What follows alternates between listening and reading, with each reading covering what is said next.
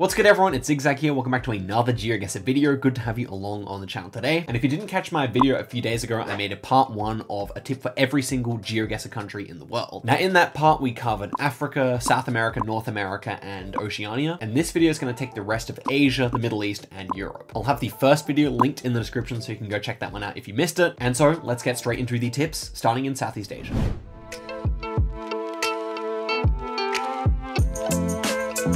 The first tip of the day is for Taiwan, where on the island of Penghu County, you often get these avenues of trees either side of the road. Now in this example, we have a bunch of Norfolk pines, which are also really common in that area of the world. These are the islands here that constitute Penghu County. You can see there's a whole lot of coverage there. Definitely worth paying attention to. If you get an island vibe, you might be there. My next tip is for Japan, and specifically the prefecture of Okinawa. Now in Okinawa, this is what the typical house looks like. As opposed to the rest of Japan, you have these flat roofs, white houses. The rounds here almost give you a bit of a Greek vibe. And on top of that, you often have these palm trees, which also indicate that you're going to be further south in Japan. If you weren't sure, Okinawa is all the way down here. And again, you can see there's quite a lot of coverage here. So knowing that architectural difference is quite useful. My next tip is for Korea. And in Korea, sometimes you have this little camera strapped to the back of the Google car. Now this camera is actually only found in two regions, particularly commonly around Pohang. So if you see it, definitely consider clicking there, but you can also see it northeast of Seoul. Next up is Mongolia, where you can see this very interesting coverage near the town of Hatgal. Basically, you can see a whole bunch of these autumnish looking trees. The whole place is looking quite barren because it's very cold there, and often you can also see the lake, which is right nearby. So when you see that kind of coverage, click near Hatgal, which is just over here in the north of the country. And if you want a more general tip, the north of Mongolia has many more trees than the south. My next tip is for Russia, where you really want the most accurate guesses you can possibly get. And my tip is specifically for the Oblast of Omsk, where you get this very bright Generation 4 camera. It's super flat, like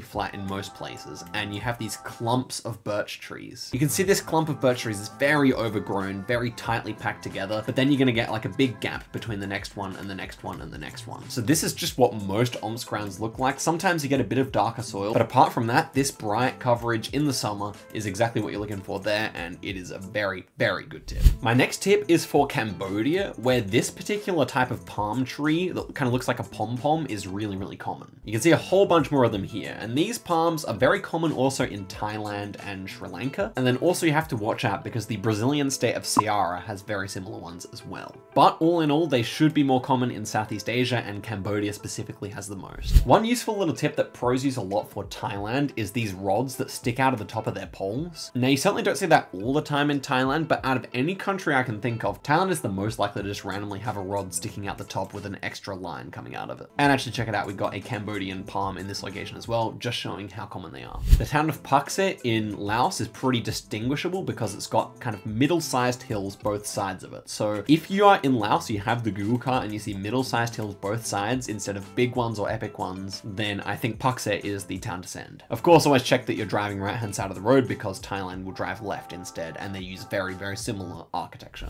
These are the typical apartment buildings of Hong Kong. They're much taller than most places in the world and you can pretty much see them in most Hong Kong rounds. So once you see this many buildings that are this tall and they're all white, should be Hong Kong. Macau is very distinguishable from Hong Kong by the fact that it only has the Generation 2 coverage from all the way back in 2008. So things are never going to look particularly modern. On top of that, this is the only place you're going to see Chinese mixed with Portuguese. You can see, I believe it says Rua there, which is the name for road in Portuguese. And then of course we're driving left-hand side of the road, which would make no sense for anywhere else that Portugal colonized, apart from Mozambique actually. But go.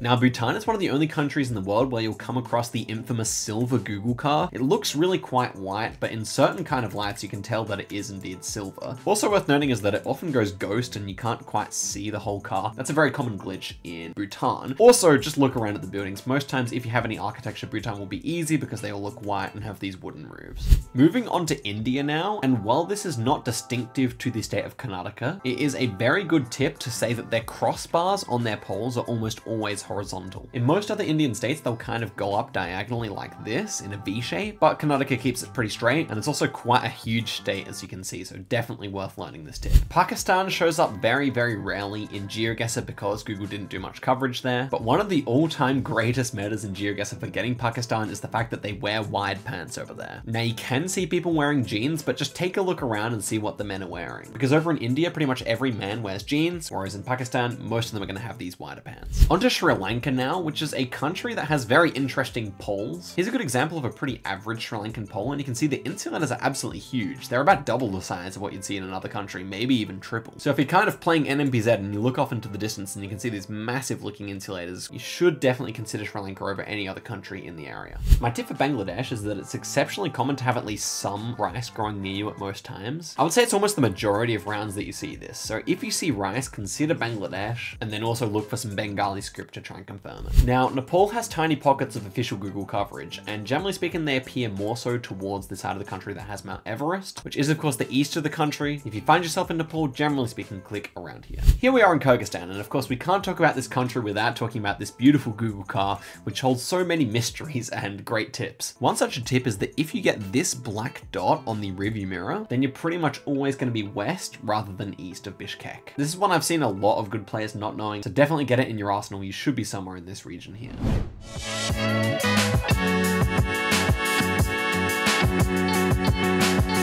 Interesting tip for the UAE is that they actually use quite a lot of wooden poles in this country. You wouldn't really expect that considering how few trees they actually have in the country, but there you go, they actually do import wood or something like that. And seeing this many wooden poles is actually not at all atypical. Just like in the UAE, Qatar tends to have its signs both in Arabic and in English. But one of the big differences between these two countries is that you would never have these blue and white chevrons in the UAE. My tip for Egypt is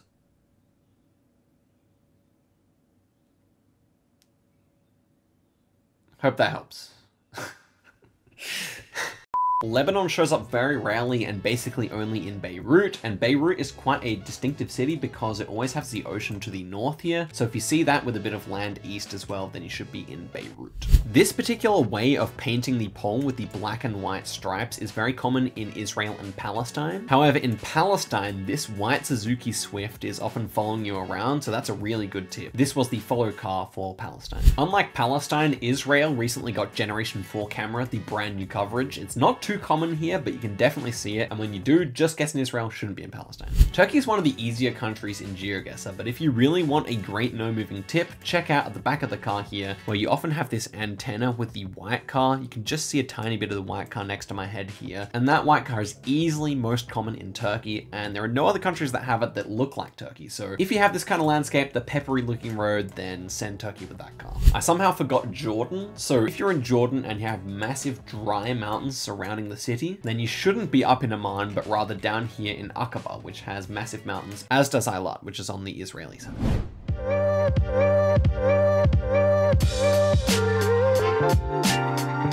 Greece is a country that tends to have very, very pale roads. As you play GeoGuessr more, you'll notice that some countries tend to have quite dark asphalt, but that's really not the case in Greece where it's pretty much always white in color. At this stage in time, Bulgaria is one of the few countries in Europe to have this red car with the short antenna in the Generation 4 coverage. I believe this one's also in Slovakia and Sweden. Different looking countries to be sure, but definitely keep that in mind too. Now, many of you viewing at home would know that Romania tends to have a lot of those holy poles, the concrete poles with holes in them. But as you can see, we're in Bucharest here and we have a round concrete pole. Now the rule there is that generally speaking inside cities you're going to have many more round normal looking poles whereas out in the country you're pretty much always using those typical holy poles. Here we are in Ukraine and one thing I found about this country is that the roads often slightly pink in hue. Now this stands in contrast to Russia where pink roads are markedly less common. So if you're in a 50-50 and you have that, consider Ukraine. Okay, here we are in Hungary, fairly standard round. This roof though, with the triangular indent, is something you do typically see quite a lot in Hungarian architecture. Now this is something I'd say is more a feature of Germanic architecture, so it's particularly common in Germany, Czechia, maybe Austria too. But I think that because Austria and Hungary used to be one country, it's something you also see all over Hungary as well. In Serbia, the car normally doesn't have an antenna, but when you do have the antenna, you should be on the road from Niš in the south to Novi Sad in the north. It pretty much sticks to the highway, but the car drove in both cities as well as particularly in Belgrade. Over in North Macedonia now, and there are definitely exceptions to this rule, but I find that the coverage in North Macedonia is particularly sunny. So if you're in the Balkan area, you're not quite sure, that could be something you use to slightly tilt yourself towards North Macedonia. Unlike Montenegro, the backs of signs in Albania are black, so you can definitely use that to distinguish the two countries. Montenegrin number plates have a little bit of red next to the blue strip. That's the Montenegrin crest. And that can be quite useful because the Albanian number plates are quite a bit different and the red really does shine through on many of the blurs. Croatia is another one of those countries with very, very pale roads. This is conjecture, but I would say the further towards Greece you get, the more pale they're going to be as well. Ljubljana, the capital of Slovenia, is I believe the only place in the country to have these green house numbers. Pretty much the entirety of the rest of the country uses red ones, which are also pretty distinctive. In a similar way, Prague can be distinguished by its big red street signs, which pretty much always say Praha on them, which means Prague, and then the number of the district. A similar style exists in Vienna, where you have a blue sign with the name of the street on it and then the district at the start. Also worth noting is that these little flags, the Austrian flags on the signposts are only in Vienna area as well. Slovakia is another country that has its crest on the number plates and you can see a tiny tad of red on this number plate on the left side as well. Now this is very useful for distinguishing it from Czechia where they don't have a red crest. Poland and the Baltics often feature this kind of white brick which is quite distinctive to that area of Europe. Not really something you see too often elsewhere at all. This is the first location I clicked on in Lithuania. You can just see the white bricks everywhere. But also something I wanted to point your attention to is that Baltic signs tend to have their backs folded, which is definitely something you can use if you're in a pickle. Just like Lithuania, Latvia is a very flat country, but if you see this kind of undulating landscape with slight hills, then you're quite likely to be on the Russian border in the east. This black car with the short antenna shows up in the Baltics, but I would say it's most common in Estonia. The dirt roads in Estonia are also kind of known to be a bit narrower and maybe a bit rockier as well than the other Baltics. If you see Generation 2 coverage in Finland and it's snowy, then I would definitely lean towards guessing in the southern bulge of the country. Compared to its Nordic neighbors, Sweden is much more likely to have the white car with the long antenna. Norway, on the other hand, is a country that in Generation 3 has no antenna at all in most circumstances. Here we are in Denmark, and this is a country that uses a lot more red brick architecture than the other Scandinavian countries. This kind of bus stop with the green H with a yellow circle around it is common in Austria and Germany, but it's just worth bearing in mind that now that Germany has come out, you can't just go Austria when you see this, you have to consider which of the two it's going to be. Here we are in Switzerland, and Swiss signs tend to have this metal guard around them, which you can see in a few other countries like Luxembourg, but it's very useful for Switzerland. The island of Sardinia in Italy is famous for having the most cacti out of anywhere in the country of Italy, and really I can't think of anywhere in Europe that has more cacti than Sardinia, so keep that in mind. This kind of house with the black support beams and red shutters on the windows definitely doesn't look typically French, and that is the type you find down here in the southwest border on the Pyrenees with Spain. A lot of Andorra was covered during the autumn, so you can just see a lot of yellow leaves around that country basically all the time.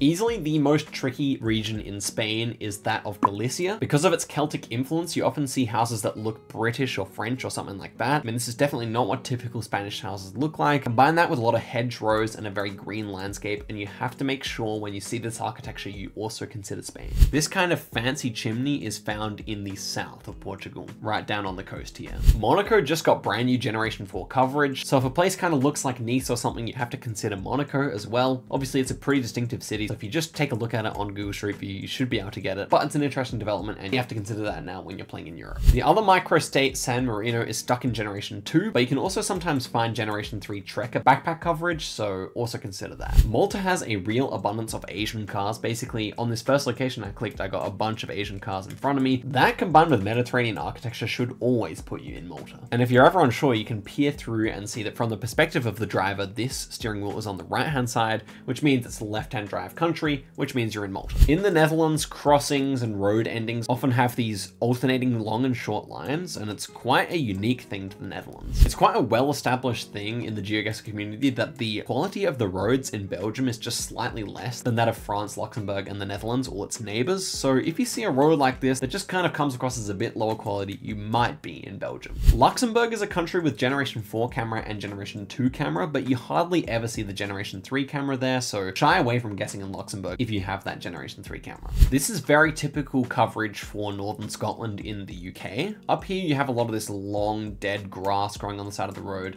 and a lot of plantations of pine trees as well. Interestingly, Ireland is the only country in the EU that uses these yellow diamond style of warning signs, the same ones that you get in Australia and the US. So that's a pretty good distinguishing difference between that and the UK. If you see that you're in Iceland and you have a very mossy and volcanic looking area with very black soil and this kind of white moss growing on everything, then you're very likely to be west of Reykjavik where you have that and also on this peninsula north of Reykjavik as well. I knew I'd at least forget one, I've probably forgot more. But here's Belarus, which shows up extremely, extremely rarely and only in the capital city Minsk. And in Minsk, you have these tiny black bollards with the circle on top. Those ones are unique to Minsk Minsk, and a very good clue. Normally when you're here, you're gonna see them. Okay, and with Belarus done, I believe we have covered every single country in the world that has GeoGuessr Google Street View. So guys, if you want me to run it back and do this series again, I'd be happy to. If there's a particular continent you want me to focus on, I'm also happy to do that. Also, country breakdowns could be something I do in the future, so just let me know with the top comment of this video what you want to see. But yeah, guys, massive thank you for making it to the end of this video. I hope you guys really enjoyed it. Fun to make. Shouts to Poison for the edit, and shouts to the community for coming up with these great metas. Guys, I'll see you guys in a video